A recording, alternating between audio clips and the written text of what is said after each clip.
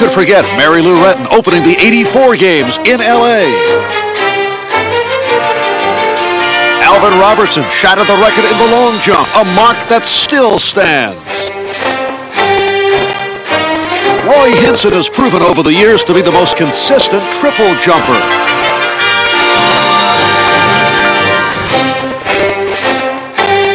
And in synchronized jumping, name one team that won more gold medals than Golden State. In freestyle wrestling, Reggie Theus has the record for the quickest pin.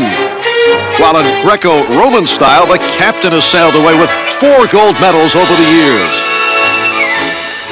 In judo, James Bailey has kicked out all competition. And when one thinks of the javelin, Jeff Ruland is usually the first name that comes to mind. In the dash, no one ever got out quicker than the doctor. Gerald Henderson holds more hurdling records than any other player. Team handball has always been dominated by the Lakers. At least it seems that way.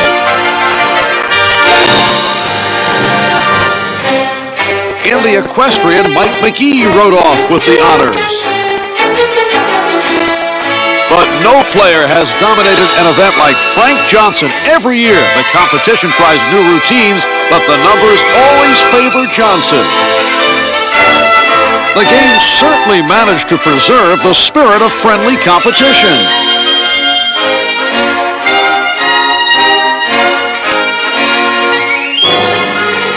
And the closing ceremonies are a fitting tribute. As the torch of athletic perfection burns brightly.